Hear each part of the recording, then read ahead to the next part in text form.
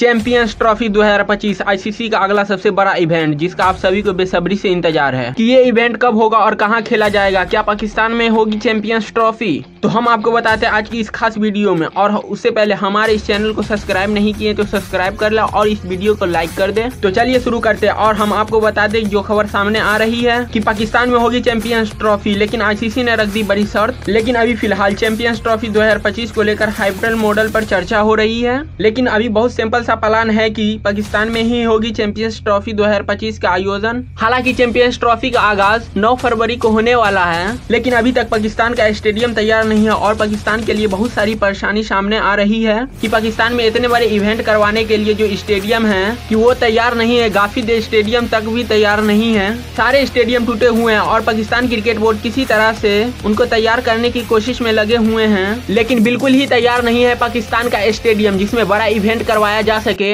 साथ ही ये भी खबर आ रही है कि पाकिस्तान की तैयारी से आईसीसी बिल्कुल न खुश है और आईसीसी ने पाकिस्तान क्रिकेट बोर्ड को लास्ट समय जनवरी तक का दिया है। तब आप चैंपियंस ट्रॉफी करवा सकते हैं। नहीं तो किसी और देश को मौका दिया जा सकता है। हालाँकि अभी बीसीसीआई की तरफ़ से चैंपियंस ट्रॉफी को लेकर कोई बड़ा बयान नहीं आया है। और भारत सरकार का इंतज़ार है और बीसीसीआई की भी कुछ मजबूरी है। अगर भारत सरकार ने बीसीसीआई को परमिशन देती है तो टीम इंडिया जाएँगी पाकिस्तान खेलने। अगर गवर्नमेंट का अप्रूवल मिल गया तो जाना ही जाना है टीम इंडिया को पाकिस्तान। हालाँकि चैंपियंस ट्रॉफी का आगाज़ 9 फरवरी को होने वाला है। ये लगभग 10 मार्च तक चलेगा, जिसमें 10 मार्च को फाइनल खेला जाएगा और पाकिस्तान की मेजबानी में चैंपियंस ट्रॉफी 2025 का टूर्नामेंट खेला जा सकता है।